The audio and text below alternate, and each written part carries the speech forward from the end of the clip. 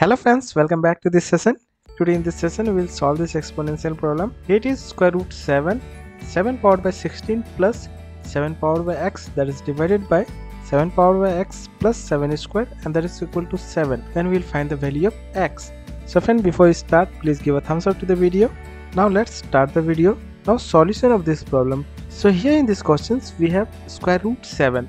Now for removing this square root 7 we'll multiply powered by 7 both the side. So we'll multiply powered by 7 both the side. So then our equation will be here square root 7 and in the square root we have 7 powered by 16 plus 7 powered by x that is divided by 7 powered by x plus 7 square and that is equal to 7 so here we'll multiply powered by 7 both the side.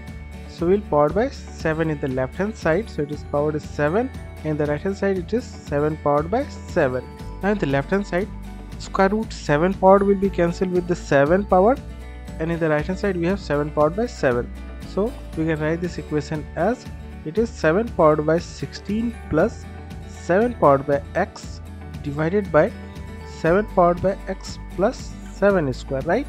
So in the right hand side we have 7 powered by 7 so it is 7 powered by 7 now in the next step we have to cross multiply it. So we can write it as 7 powered by 16 plus 7 powered by x and that will be equal to here we'll cross multiply this. So here it will be 7 powered by 7 multiplied by this value. So it will be 7 powered by 7 multiplied by 7 powered by x plus again 7 powered by 7 7 powered by 7 multiplied by 7 square right? In the next step we'll simplify this. So here it is 7 powered by 7 multiplied by 7 square. Now it is in the form of a powered by b multiplied by a powered by c. Now here if you look at here the base is same. 7 and 7 similarly here a and a. So this equation we can write it as a powered by b plus c. Here we add the power.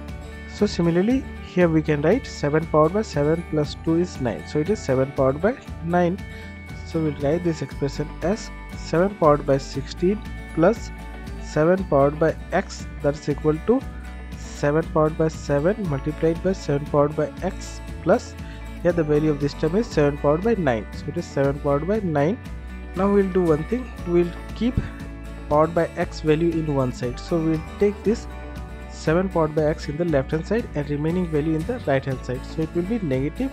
So we can write it as 7 powered by x this value as it is negative and this value 7 powered by 7 multiplied by 7 powered by x equals to in the right hand side we have 7 powered by 9 and this value we'll have to subtract this. So it is negative 7 powered by 16 now from the left hand side we can take common 7 powered by x. So we'll take 7 powered by x common and remaining here will be 1 minus and here it will be 7 powered by 7 right and that's equal to now from this expression we can take 7 powered by 9 common. So it is 7 powered by 9 common and in the remaining here it is 1 minus and here will be 7 powered by 16 minus 9 will be 7 powered by 7 right?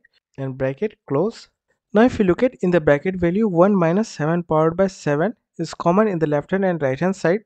So we can cancel 1 minus 7 powered by 7 in the left hand side and right hand side.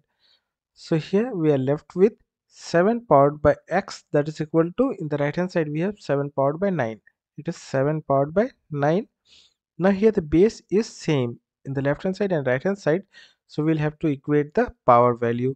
So here the power is in the left hand side is x that is equal to power in the right hand side is 9 so the value of x we have calculated here is 9 and that's our final answer of this problem.